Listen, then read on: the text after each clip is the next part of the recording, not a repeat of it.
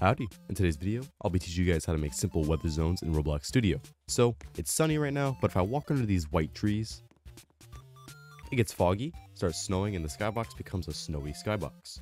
Then if I walk back from out underneath these trees, it becomes sunny again, and the fog goes away and the snow disappears. It's really easy, so I'll teach you guys how to do it. Now, to make your lives easier for this tutorial, we will be using something called Zone Plus. It's 100% free, and all it does is detect where the player's at, so we don't have to do a bunch of programming to do that. So, this will be the first link in the description. Just make sure you click right here, Zone Plus V3, and get this into your Roblox inventory. Alright, now that you've downloaded that, we are ready to start. So, go to your toolbox, go to your models, and just type in Zone and you should have Zone Plus. When you click it, it'll be thrown into the workspace. Just put it in replicated storage. Now, before we do any programming, we actually need to make our zones. So inside our workspace, just add a folder, name it zones, and now I can just insert a part here. And I'm gonna name it snow zone. I'm gonna set the transparency to be one, or just so we can see it a little bit, I'll make it like sort of transparent. I'll turn off cast shadows and I'll turn off can collide and this is the snow zone. Then, for the particles, I'm just going to duplicate this part, put it up here like this, name it snow, uh, snow zone particles. And make sure you anchor both of these. Now, I just need to add some particles. So I'm going to the toolbox, I'm just going to look up snow. Well, we'll do it in the here. Snow particles. And this one right here, it, uh, through my camera, I'll just control X, the snow particles from underneath here, and then I can just paste them in here. And they're going up. That's a very easy fix. I'm just gonna rotate it like this. And we're good. We have our snow particles. You could tweak them however you'd like. I usually slow them down a little bit, but for the sake of this tutorial, I'm gonna leave it like this. Then just go to particle emitter and turn enabled to false. And now we're done in terms of our zone. So next we need to get the skybox. So we're just going to use this default skybox right here. Control C, copy the skybox and put it into replicated storage. And name it sunny skybox. And now we need a snowy skybox. So go back to your toolbox, look up snow skybox. Uh, I'm gonna grab this one put that into your replicated storage and name it Snow Skybox. And now we are all set to program. So instead of starter character scripts, I'm going to insert a local script. I'm going to name it Zone Handler. And now I just need to add a few variables. So first, I'm going to do local player plr equals game dot players dot local player. I'm going to do task wait 2 and above this i'm going to do repeat wait until game is loaded. And right underneath here, I'm gonna do local ts for tween service equals game get service tween service because we're gonna be animating some things. I'm gonna get the lighting um that's right here. So local lighting equals game dot lighting local zone module equals game dot uh we have to do require game dot replicated storage as zone whenever you're using modules, you can't just reference where they're at. You have to do require in order to actually be able to use the code inside of them.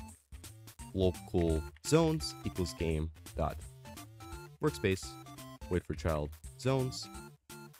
And we can just do local, whoops, local snow zone equals zones dot snow zone. So we're using the module now. And all we have to do now is do local snow equals zone module dot new, and we just put snow zone in here.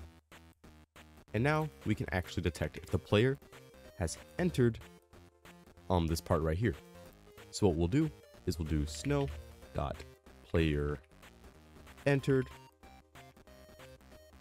connect function. Then right here, we're just gonna type player, and we'll do if player equals plur, then basically, this little code right here is just going to make sure that if you enter the snow zone, it doesn't trigger effects for other players. Now we just have a few lines of code to write, and we can successfully detect if the players entered the snow zone.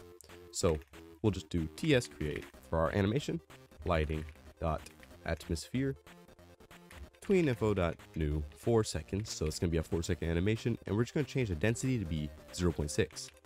So density equals 0.6. We're going to play that. Then right here, we're going to do lighting, find first child, skybox. And right here, we're going to change, whoops. Yeah, right here, we're going to change sky instead of our lighting to be skybox. Then we're just going to destroy it.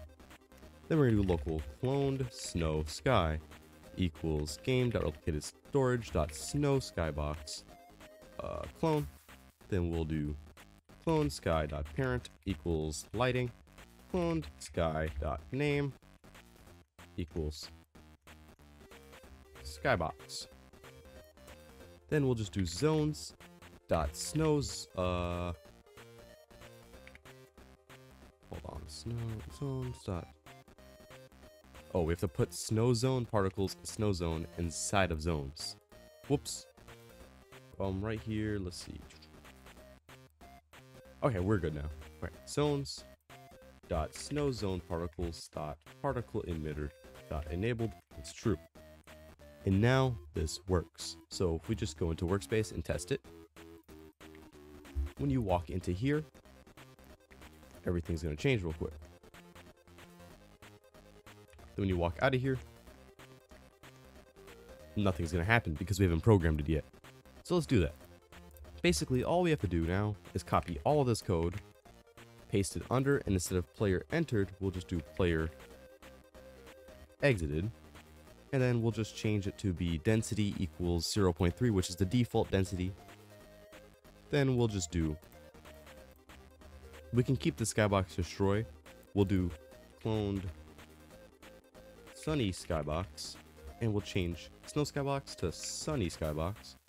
Then we'll just copy this change it to that and we'll set this particle to false and just to make the effect a little stronger, I'll make it 0.8, and I'm also going to go here to the particle size, and lower this middle one to make the particles smaller, because they're obnoxiously large. And just to make them look a little bit better, I'm going to just make it 15 speed instead of 30. So now we can successfully test if this works. So you walk in, the skybox changes, the fog dials it up, and now it's snowing. But if I exit this area, everything goes back to normal and the snow is gone. And that's how you make weather zones in Roblox Studio. Or lighting zones, either way. They both are zones. So if you guys have enjoyed this video, please like or subscribe, or don't do either of them, it's up to you. And I'll catch you guys on the flip side. Don't forget to brush your teeth, and take it easy. Bye-bye.